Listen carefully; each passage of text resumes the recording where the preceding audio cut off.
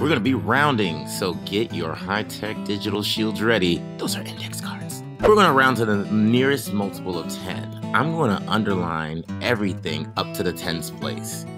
And in this case, that's the whole number. And so I'm looking at the number 48. We're rounding to the nearest multiple of 10. Let me get my number line ready. What multiples of 10 surround the number 48? Well, I know 48 is more than 40 and less than 50. 48 is somewhere between 40 and 50.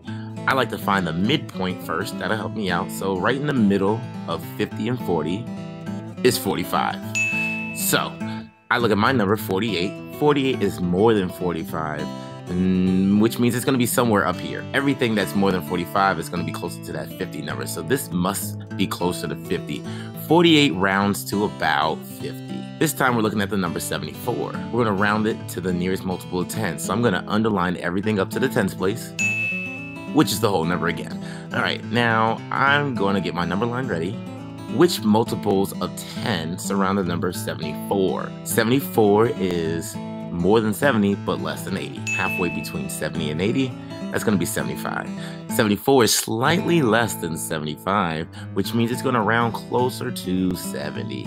It's going to round to 70. 634. We're rounding to the nearest multiple of 10 again, so I'm to underline everything up to the tens place. I don't need to look at that 600 for right now. So you know what I'm gonna do? I'm gonna get my high-tech digital shield and cover that bad boy up. Right now, I just want to focus on the 34. I'm not even worried about the 600 anymore. 34 is in between what multiples of 10? I know it's more than 30 and less than 40. Right in the middle between 30 and 40, 35.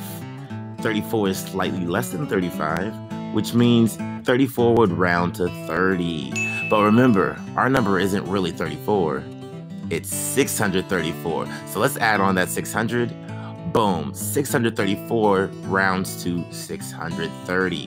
When we're rounding to the nearest 10 anyways. One more time, we're gonna round to the nearest 10. 765.